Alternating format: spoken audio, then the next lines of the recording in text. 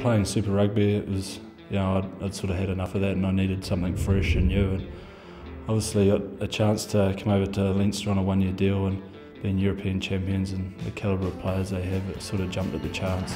agus Nathan White in sin agus has the Oliphant nach an a bhín sin á. I made a lot of good friends over there and obviously the coaches being Kiwis as well.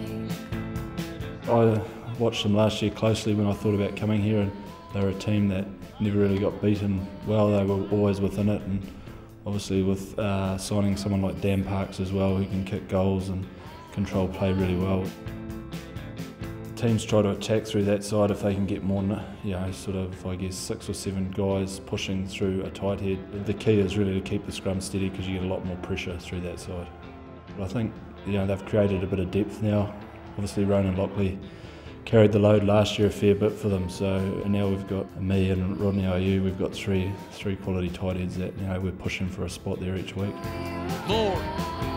Agus í gearmach agus díl duine bit a go le chuine leis an airseo an ceafrú úd fáte ag na Scarlets. It's been a little bit frustrating. Um, soft tries is hurting us. It's something they didn't do last year.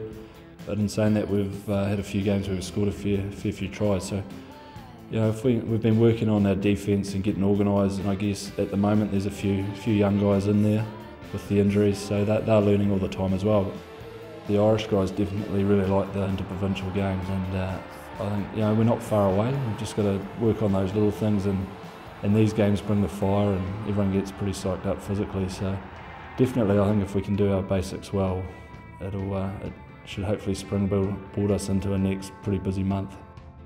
Joe Schmidt's a very tricky operator and he always has a few little tricks up his sleeve, so it'll be interesting to see what he brings this week. But uh, yeah, definitely, it's going to be a great game. It always is, these inter-pro games. And uh, when the top dog comes to town, yeah, he's certainly ready for it.